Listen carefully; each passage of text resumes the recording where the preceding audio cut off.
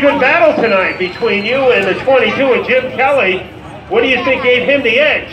Uh, he just had the line on me. I just couldn't get under him or couldn't get high of him in the corners, and uh, I just couldn't get, you know, to his quarter and uh, give me some room up there. But that's all, you know, we had good, clean racing, good show. Got to thank Waterford for having us here, uh, sponsors, uh, U.S. Sheet Metal and Tech Mechanical, and uh, yeah, just real fun out there. Yeah, look, finish in third. And now in second. Now, we oh, looks like you might have a chance. What happened? I just didn't have anything left on the right rear tire. We just burned that thing up. So, uh, but congratulations to, uh, to Gary and to uh, the, uh, you know, the uh, other fellow. And uh, a great battle between you and Ben Levangie for second. Yeah, I just kept, uh, I just kept burning that right wheel off the car. I couldn't, uh, just couldn't control it. But it's always fun to come here and run in New England. We missed the ferry just so we can put on the show for you tonight. So we got a five-hour drive around, but it's worth it to see all these fans in the stands. So thank you for coming out.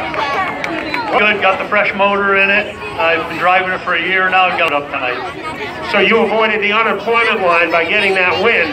You know, helped me up by do Art, Pete, Dan, they're, they're all great bunch. Tonight, and the driver of the 7 New York, as he was just as strong after the caution as he was before it, Gary Byington.